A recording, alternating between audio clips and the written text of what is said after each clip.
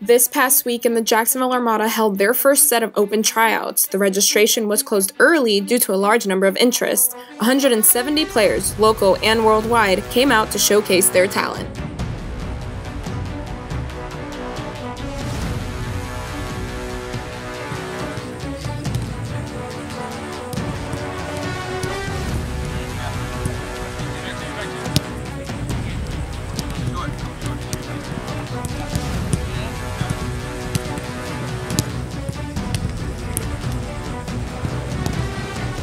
Where are you from and what position do you play? Uh, I'm from Cambridge in England and I play up front, or striker.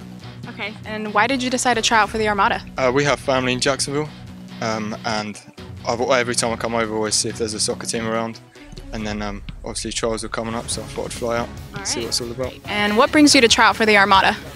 Uh, it's just a goal I set for myself, and basically to prove to my kids that you can do anything you set your mind to. Even though my age, I just don't think age is a number. So, I'm trying to be a good role model. I have four children, so All right. And for the fans out there, how how old actually are you? uh, I'll be 43 next week. Hey, age is nothing but a number. That's right. All right, and what are you looking forward to today? Uh, I'm looking forward to doing well and helping the Armada succeed. Basically, All right. I'd like to see a, a good showing in Jacksonville.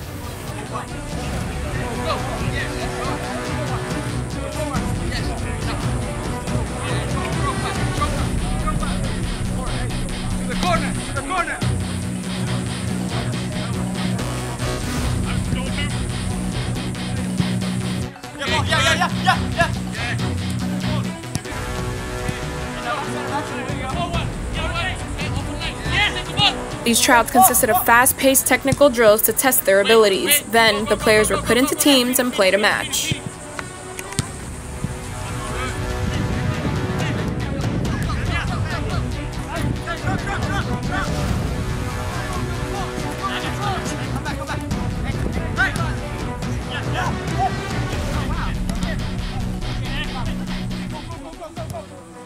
After two long days here at Petton Park for the Jacksonville Armada FC tryouts, I caught up with a few of the players afterwards to see just how they felt about their session.